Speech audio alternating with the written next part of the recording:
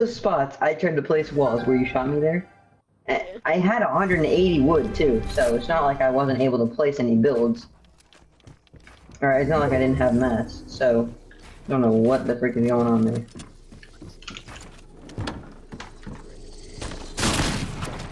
Oh, please don't.